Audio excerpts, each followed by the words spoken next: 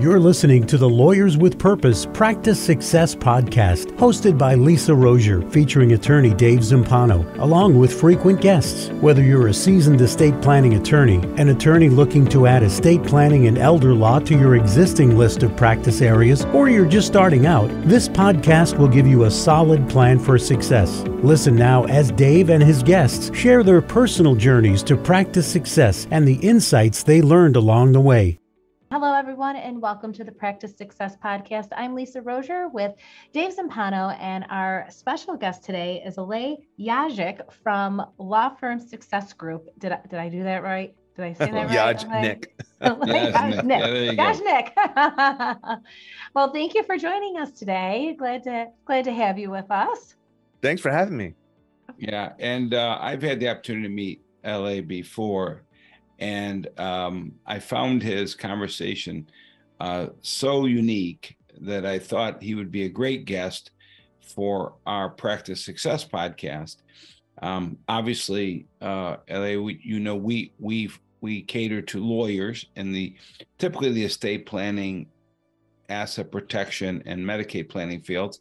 Um, but we're not limited to that. We have a lot of other lawyers that listen who may be interested in going to a different area of law where, where you can actually maybe be some help because you don't focus on any particular type of law, but you focus really on the elements that make law firms successful, which is really interesting because this is called the Practice Success Podcast. So, who better to have on than the Law Firm Success Group? Why don't you take a moment to share a little bit about your story and how you came to be uh, what you're doing currently. Sure. Thank you, Dave. Really appreciate that wonderful introduction. And uh, and by the way, I'm sure we'll have in the show notes, but I had Dave and Guy on the Lawyer Business Advantage podcast a few yep. months ago. That's where we met and uh, and have had built a really nice relationship from there.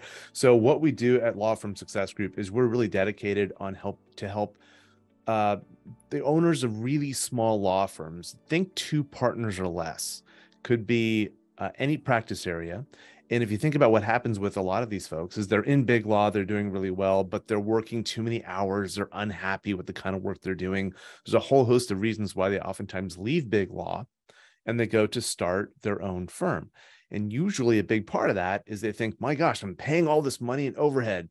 Well, if I have my own firm, I can just keep all that money. It would be so mm. nice and so wonderful. And I don't have to work as hard and all these other benefits stack up. And then they go to launch their firm and they find that they're working way more hours than they expected because now they're a business owner and they have to wear all these hats. They have to either hire people, hire the right people, or they have to do the work themselves. They have to put in systems. They have to do all the marketing. They don't have the resources that they're used to be doing. They're sending out invoices at 11 o'clock at night. It is not the situation that they want. And what we found, as I think what you have found as well, Dave, is that when you take a practice, you have a really strong vision for what that practice can be, and then you achieve that vision through a strategy, you know, solid marketing plan and business development skills, really good people, and good systems. That promise, that that reason why that attorney left Big Law to start their firm, that promise actually comes true. They're making more money, they're taking more time off, they're working with better clients and they're just having more fun. And that's what we're dedicated to doing at Law Firm Success Group. We work with these clients all across the country and we provide exclusively one on one business coaching for those clients. Yeah, what I love about um, the synergy, uh, obviously, we here at Lawyers with Purpose, uh, I was strongly influenced, uh, really transformatively uh, in 1999 from reading the book The E-Myth by Michael Gerber, you know, the pie maker and, and the idea of systems and processes. Um, so back then, by reading this book, I started just every quarter building a new system and process in my estate planning, asset protection, and you know, Medicaid planning law firm. And as I continued to build these, they all started to kind of play on each other. And I had a model that other lawyers started saying to me, Hey, I want that. How, how, do I get that? And that's how Lawyers with Purpose was born by a single individual, myself, um, using his team and, and having focused goals to build systems and processes. Now, w- uh, one of the things I always say, uh, Alay, that I think is so critical is having the tools is critical. Having the systems the processes is great. But but we we always say there's four pillars. Um, first pillar is you actually have to know what you're doing legally. So you have to have that legal knowledge that you know you you, you it's kind of hard to fake it till you make it in law uh, because there's real consequences. Um, the second element uh, is really what we call value creation. And and really that has two sides to that coin value creation to the world, meaning as you convey out your message, does the world resonate with it to the to the level where they actually call you? So the real world, world would call that marketing, right? Do you have a value proposition that that makes people react to it and call you.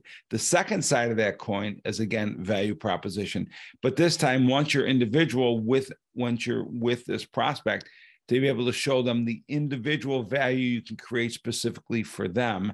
That's what we call the sales right? So but we we call that value creation because that's really what that's all about in our world here at lwp the third element is really about operational efficiency but we actually call it proficiency because efficiency we believe is a failed model right? Efficiency uh, is about doing things well and quickly and in, in less time and a better product but but doing that doesn't always lead to profit and we like efficiency that leads to profit. That's where i think you really have a lot of support and input on on how to help people understand those business elements of operations um, financials things of that nature. And then finally the fourth pillar we talk about is building a company culture um, and and building a team. So building a team and company culture that all work together over over over encompassing all of those i think is is the jewel that you work with. And again i'll let you uh, comment on my thoughts my four pillars and on this that really comes down to mindset. Um, are we able to flex our brains?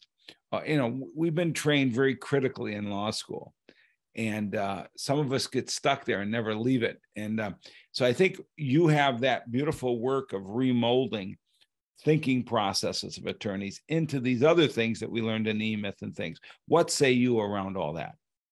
Yeah, I think I love the framework, the four pillars. That's really easy to understand. And uh, each of those pillars, there's a massive, massive amount of stuff that goes into each of them.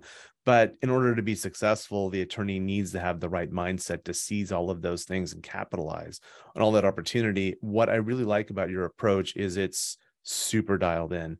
Um, one of the, you know, we have, we do a lot of similar things. We also do things, I think, pretty differently. One right. of the things I really like about your model is it's really, really scripted out. It's super detailed. An attorney can come in and plug in and just do all the things you tell them to do. You give them all the systems, all the processes, everything they need to be successful, and then coaching along the way. Our model is a little bit different. Uh, we have a wide range of tools and processes and systems. And so what we're doing when we talk to our clients, our clients don't want to do to follow other people's processes. They want to kind of do their own thing. And so we really enjoy working with them to figure out what they want to do in their firm, the changes they want to make, the kind of firm they want to build, and then helping them do that. Whether it's, hey, you know what, I want to work, I want to work, but I want to work in Europe three months out of the year. My practice is in California.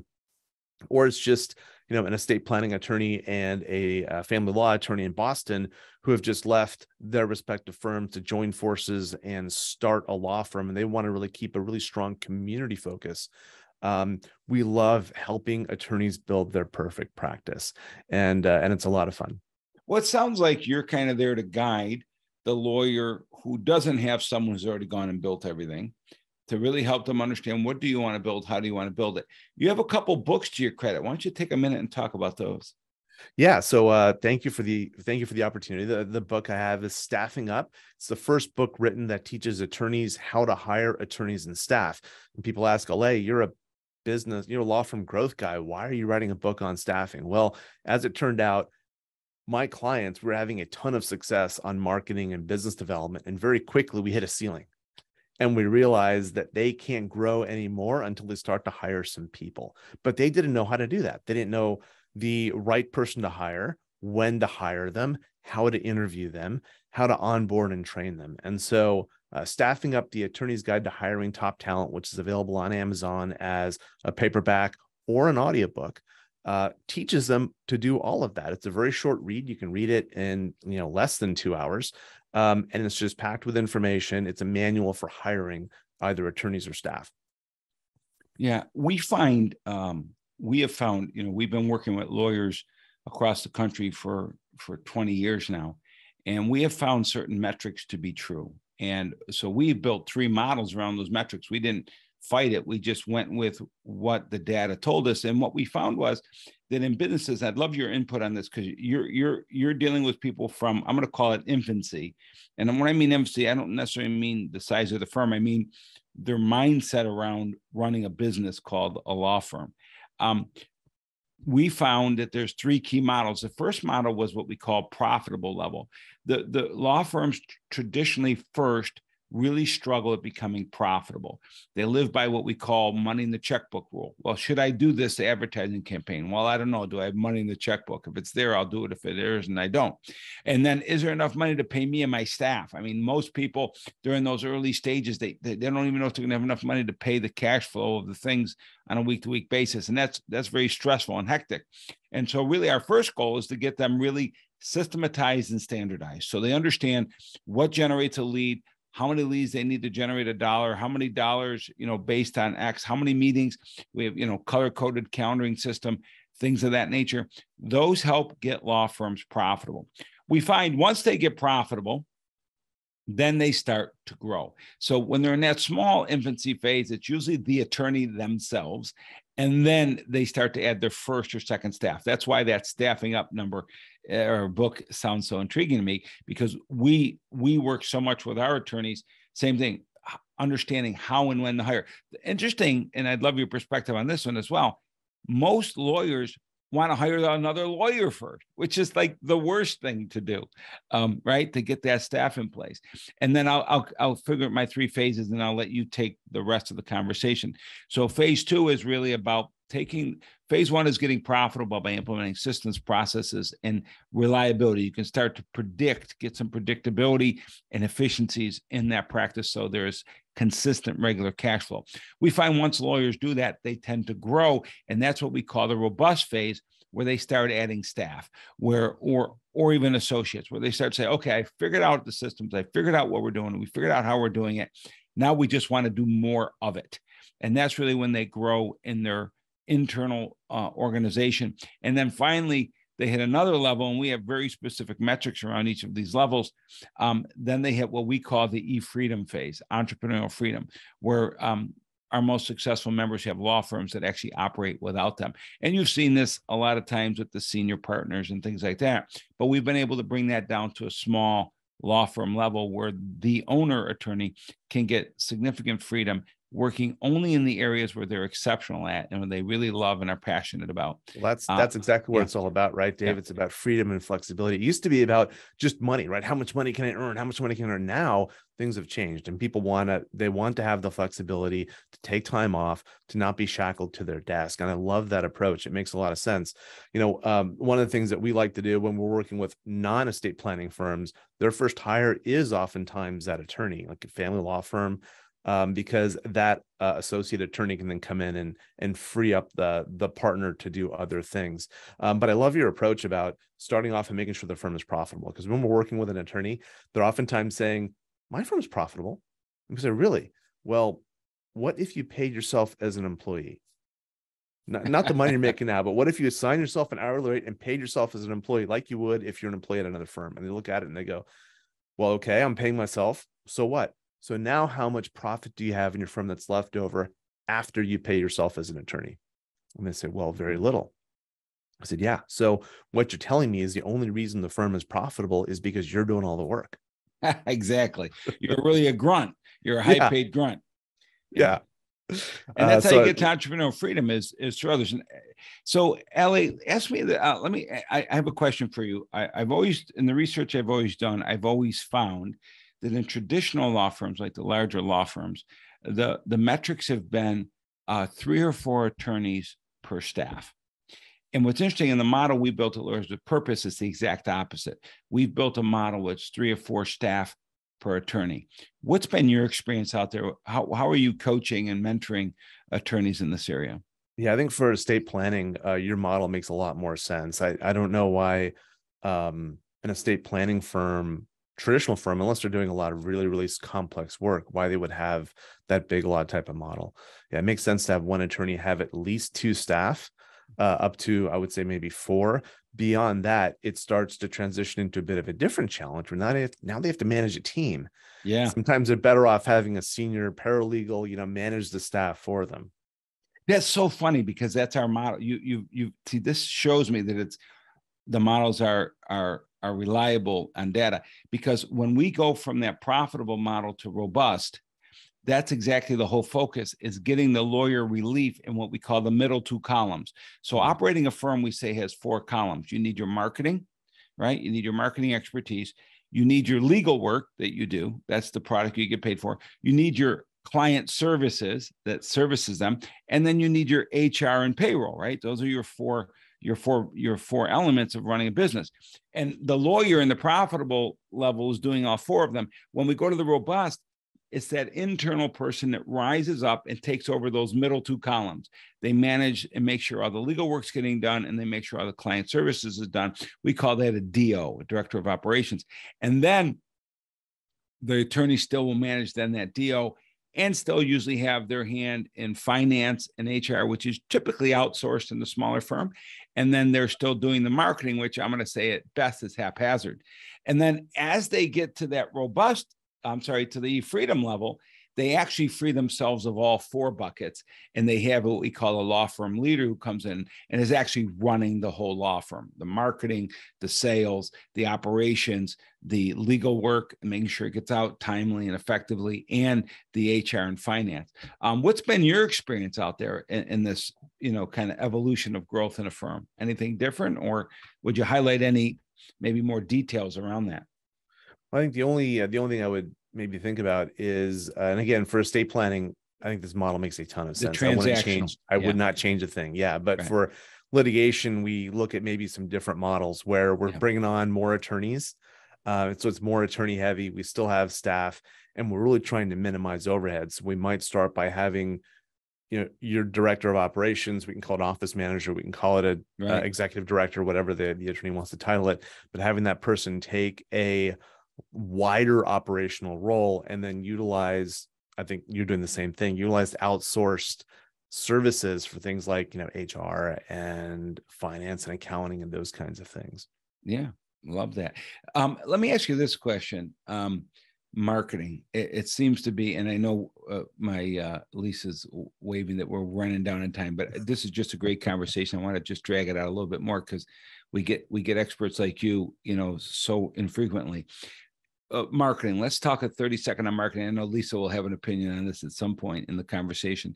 Um, what do you find the biggest challenges for small law firms when it comes to a marketing strategy and budget? Yeah, right now not much because they're they're all slammed for work, and most all my clients are focused on hiring at this point because they have more work than they can handle. Um, but what I find is they're asking the wrong questions, Dave. So the number one question I get asked about marketing is, "Hey, Alay, will will SEO work for me? Or Alay, should I do pay per click? Or Alay, should I join another networking group? And it's the wrong question because they don't know what their message is. They don't, to your point about value proposition, they don't know what their value proposition is. They don't know what sets them apart in the marketplace. Number one. Number two, they don't know who their ideal client is. So they have no idea what their target market is. And so then how can they determine with any degree of accuracy what marketing tactics are going to work? You have to first understand your value proposition, your message. Then you have to understand your ideal client and your target market.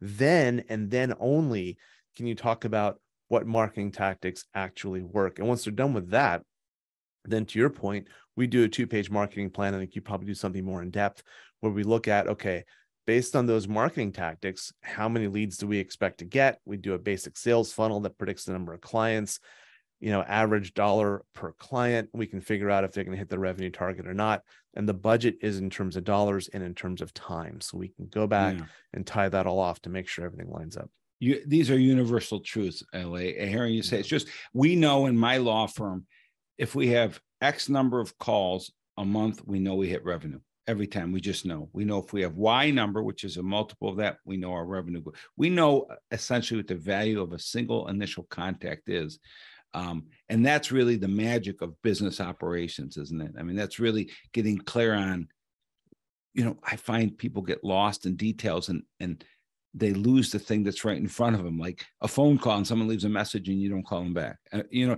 you're killing yourself to get a lead. that's right. And then you don't return the phone call. It, it just makes no common sense but people do it all the time. What is I, I have to just you said something that was very what's the word I want to use? Uh, very challenging in a very positive way. You said my clients don't have any of those problems. They have so much business they don't know what to do with it. What do you attribute that to? Uh, I think at least in California, where most of my clients are, most of my clients are on both coasts. They tend to be there. Uh, the economy is just rip roaring. I know we're hearing talks about recession and stuff like that. I am not seeing it yet uh, there is a tremendous demand for legal services. I think a lot of there was a lot of pent up demand during COVID. Now that COVID is is you know wrapping up, people are coming out of the woodwork. There's a lot of deals getting done in the M and A space. There's a lot of employment law situations that are going on in California and Massachusetts and New York and places like that. Uh, and you know, un- unfortunately, there's a lot of family law cases that are going on too. So there's just a lot of activity in legal space right now. What do you think? Stresses. Yeah, I, I, think I think all of us need to be aware um, of value creation. Like I say, in our area of law, we we had a panel last week at our semi-annual retreat, and we had one preparing for a recession. You know, how is your how do you recession-proof your practice? And um, in our area, you know, um, Medicaid, there's never a recession in Medicaid. People are falling ill and going to nursing homes every day. There's never a recession in probate right? People are dying every day. Um, and so those things are pretty consistent.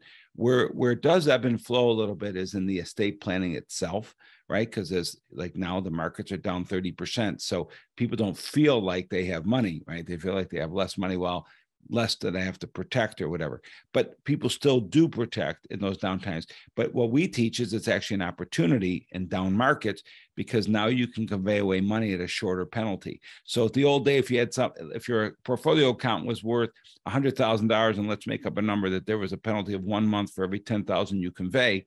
Well, if you conveyed it when it was worth hundred thousand, you get a ten month penalty. Now it's only worth seventy, so now you only have a seven month penalty. So it's a great advantage to transfer when it's worth 70. So when it goes back up to 100, there's no there's no transfer penalty for that. So really cool opportunities uh, in planning and pre-planning around there.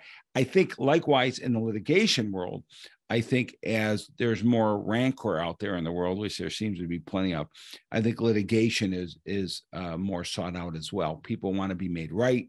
They feel they've been wronged, um, they've been hurt, all kinds of different things, litigation and business, all those different areas. Uh, I think you're right. I think those also, I think those tend to go up during a recession. What's been your experience?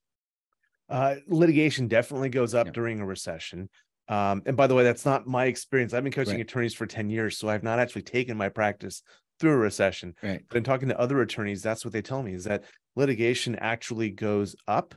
The challenge is it's harder to collect because yeah. oftentimes they don't have the money or they don't have enough money. So um, it, it, it can still hurt. A recession can still hurt, but I'd like to leave your audience with this message.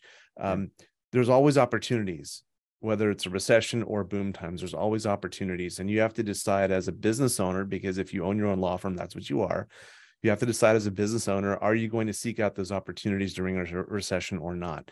And just know this that coming out of a recession, the strong firms, the well-run firms, the ones in your program, Dave, they they come out stronger. Yeah. And the weak firms either fail or they come out much weaker. So as an attorney entrepreneur, you can decide yeah. which one do you and, want to be. And I want to give you the closing thoughts here, Alay, around mindset. Um, what do you think? Uh, this is the Practice Success podcast. What's your piece of advice to the listeners about mindset? Uh, to get their practice to their next level of success, whatever that is for them. So if I was talking to to one of your um, one one of your audience members, I you know here's what I would say, and I guess I am. Uh, you are a business owner, you are, and that's an amazing gift because now you can build the practice that you want. There's no excuses. Whatever you want to achieve in your practice, whether it's income, whether it's time off, whether it's freedom, whether it's flexibility, you can do that. And programs like Lawyers with Purpose give you the tools to make that happen. There has never been a better time in the history of the world to start your own law firm. It is easier than mm. ever. And like you and I are talking about, Dave, the best practices are out there, and an attorney just needs to, you know, invest in those best practices and make it happen. Yeah, my key takeaway from your conversation, this being the second one with you, you need guidance and support. You need people who can guide you. And at, at Alay, that that's really what I think your services at Law Firm Success Group does. And I'd love you just to let our audience know how they can reach you directly if they'd love to chat with you uh, and see how your services might help them, whether they're one of our members or whether they're uh, someone contemplating a different area law. Great. Thank you, Dave. Yeah, just visit lawfirmsuccessgroup.com and uh, all the information is there. Or you can hit me up on LinkedIn. Uh, my information is in the show notes, or you can just uh, on LinkedIn just search for Law Firm Success Group. Fantastic. Lisa, any closing thoughts? No, I just thoroughly enjoyed that conversation. I didn't participate, but um, I did owe everything that you did say about the marketing because, you know, the marketer and me. Um, yeah. but no, for our listeners out there, I hope that you enjoy this conversation as much as I did. You can always uh, get additional episodes by going to lawyerswithpurpose.com and clicking on the Practice Success, Success podcast. Uh, Dave and Alay, thank you so much for a great conversation today. Have a great day. Thank you for listening to this episode of the Practice Success Podcast. Visit www.lawyerswithpurpose.com slash podcast to listen to other episodes and to subscribe. We'll see you next time.